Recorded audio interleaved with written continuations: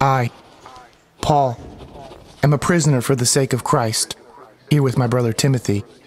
I write this letter to you, Philemon, my good friend and companion in this work. Also to our sister, Apphia, to Archippus, a real trooper, and to the church that meets in your house. God's best to you, Christ's blessings on you. Every time your name comes up in my prayers, I say, Oh, thank you, God. I keep hearing of the love and faith you have for the Master Jesus, which brims over to other believers. And I keep praying that this faith we hold in common keeps showing up in the good things we do, and that people recognize Christ in all of it. Friend, you have no idea how good your love makes me feel, doubly so when I see your hospitality to fellow believers.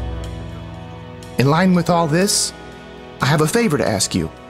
As Christ's ambassador and now a prisoner for him, I wouldn't hesitate to command this if I thought necessary, but I'd rather make it a personal request. While here in jail, I fathered a child, so to speak. And here he is, hand carrying this letter Onesimus. He was useless to you before. Now, he's useful to both of us. I'm sending him back to you, but it feels like I'm cutting off my right arm in doing so. I wanted in the worst way to keep him here as your stand in to help out while I'm in jail for the message. But I didn't want to do anything behind your back, make you do a good deed that you hadn't willingly agreed to. Maybe it's all for the best that you lost him for a while. Now you're getting him back for good, and no mere slave this time, but a true Christian brother. That's what he was to me. He'll be even more than that to you.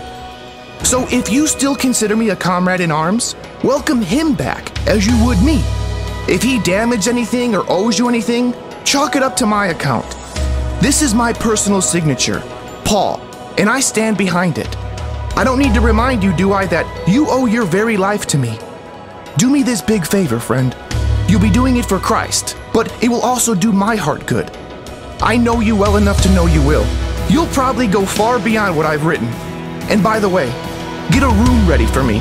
Because of your prayers, I fully expect to be your guest again. Epaphras, my cellmate in the cause of Christ, says hello. Also my co-workers, Mark, Aristarchus, Demas, and Luke.